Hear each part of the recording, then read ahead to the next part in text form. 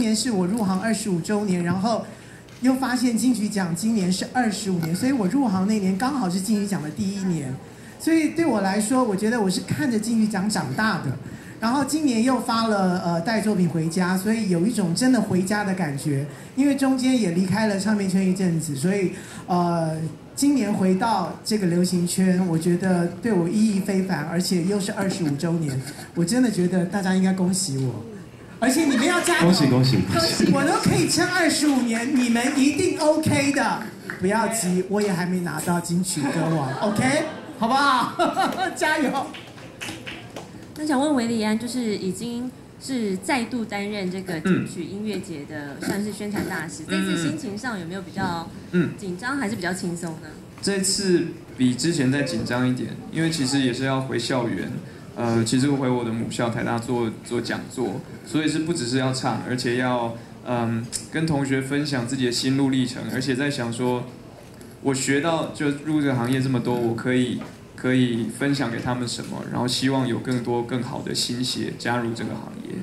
嗯，想要问一下那个拉力派，就是刚才有想跟那个评审拉票，要不要再讲一下，到底对这金曲奖有多大憧憬？这样？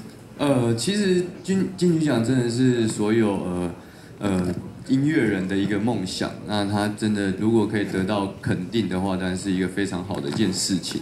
当然，我们团体由我来说这些话，算是不。不太公道，不太客观，但是因为小玉，呃，便因为他口才不好，所以我帮他讲了一下，然后他有很多心里话讲，然后我觉得也是很多唱跳歌手，呃，我不管是罗志祥或者是有把大家一起，我觉得呃多少可以再开一个奖项给唱跳，不管是团体或是男歌手、女歌手，希望，对，蔡依林都拿到了，所以你们一定有机会，OK。看来我要去变性一下，对，好的，郭子哥，谢谢，加油。哦，不会不会不会，因为因为因为其实这其实就看缘分啊。然后其实我们已经八年的出的专辑其实也蛮多的，那自己的创作也很多，但是有时候偶像就是会很多东西都会被埋没。那我希望说。算了算了，没关系。其实我们 MV 每次都花好几百万在拍。